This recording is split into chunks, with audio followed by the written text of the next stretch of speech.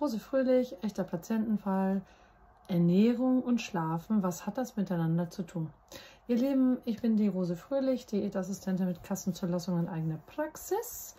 Und ich hatte eine Patientin in der Beratung, Gott, ähm, die die Fragestellung hatte, ähm, ob ihr das Aufwachen in der Nacht, das Nicht-Durchschlafen, ob das ein Thema ist, was man auch mit der Ernährung ändern kann. Ihr Lieben, schreibt mir mal in die Kommentare, äh, was würdet ihr sagen? Hat Schlafen mit tagsüber Essen irgendwas damit zu tun? Ja, ich freue mich auf euch. Ihr denkt dran, ihr Leben plus weg. Ja, wollen wir mal reingucken, was da passiert. Also, es hat tatsächlich was miteinander zu tun. Und zwar, ich hatte hier ja so zwei rote Streifen in der Hand. Das sind die, die sogenannte Blutbahn. Ähm, bei dieser Blutbahn sind ja keine Zuckerstücke zu sehen. Und hier können wir ja Zuckerstücke sehen. Das heißt, wenn wir Kohlenhydrate essen, landen die in der Blutbahn und die erhöhen den Blutzucker. Wenn ich jetzt allerdings lange nichts esse, dann ist die Situation so, dass ich keinen Zucker, beziehungsweise, man muss schon sagen, ein bisschen Zucker gibt es ja immer, ne? das müsste also original dann so aussehen.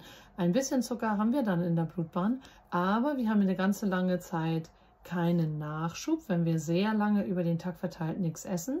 Das heißt, sehr lange Diätphasen, sehr lange Phasen also Nüchternphasen zum Beispiel, führen dazu, dass das Gehirn an der Stelle, ne, das Gehirn, dass das Gehirn wahrnimmt, dass hier kein Zucker kommt, also dass kein Nachschub kommt. Und dann ist es so, das hat ihr vielleicht bei mir, die die ähm, Vorträge oder die Videos schon kennen, Vorträge ist auch gut, ne? ist ja wie ein Vortrag, ne? Ähm, wenn sozusagen die Blutbahn weniger Zucker enthält, das Gehirn das wahrnimmt, ne, das Gehirn, dann ist es so, dass die Leber anfängt, Zucker zu produzieren. Und dieser Zucker aus der Leber, das Glykagen, wird dann abgegeben an die Blutbahn. Und hier ist es so, wenn der Zuckeranteil dann ein bisschen erhöht wird, aber trotzdem lange Phasen sind, wo keine Energie nachkommt, dann kann es sein, dass man tatsächlich nachts zwischen 1 und zum Beispiel 4, 5 Uhr wach wird, nicht mehr weiter schlafen kann oder die Patienten berichten dann immer, ja, ich werde wach und kann nie wieder einschlafen, ne, bin irgendwie durch den Wind. Ähm, dann ist es so, dass das Gehirn, das über den Tag verteilt gemerkt hat, dass nicht genügend Energie nachkommt, ähm, dann reicht das nicht zum Durchschlafen, dann wird der Körper wach. Das heißt, wir können nicht richtig einschlafen, wälzen uns im Bett. Und jetzt ist die Frage, was können wir denn dagegen tun? Ganz einfache Botschaft, Leute, Essen einbauen. Weil, wenn ich tagsüber ein bisschen moderat, zum Beispiel Vollkornbrot, Mehrkornbrot esse oder wenn ich zum Beispiel eine Spätmahlzeit einbaue, eine gesunde, kann ja auch äh, Quark, Frischkäse, Joghurt sein, äh, Käsewürfel, also eine Eiweißquelle zum Beispiel, zum Beispiel auch den Quark mit Obst zusammen. Ähm, es bietet sich immer an, gesunde Kohlenhydrate zu nehmen, weil die den Blutzucker immer langsamer ansteigen lassen. Und ich muss natürlich versuchen, die langen Nüchternphasen, die ich tagsüber habe, die müssen wir zusehen, dass die mit Essen gefüllt werden. Warum? Lange Nüchternphasen bedeutet für den Körper immer eine Diät und das ist am Ende nicht der Effekt, den wir immer haben, dass wir in die Gewichtsabnahme gehen, beziehungsweise für den Schlaf in der Nacht.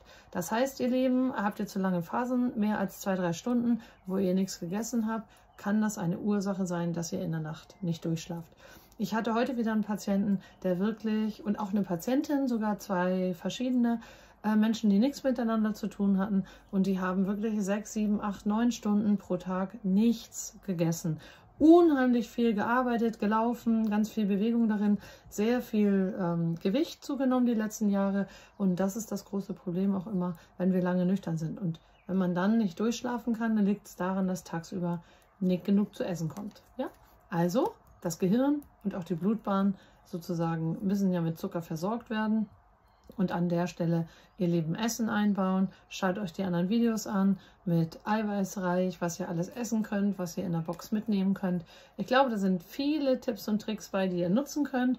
Und jetzt wisst ihr auch, also das Essen hat was mit Nichtschlafen zu tun oder mit Durchschlafen. Es ist nämlich immer so, dass die Patienten, wenn sie ihre regelmäßigen Mahlzeiten einbauen, tatsächlich wieder besser schlafen und vor allen Dingen auch häufig durchschlafen. Also an der Stelle, ja, Essen einbauen.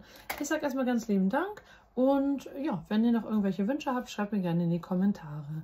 Ganz liebe Grüße!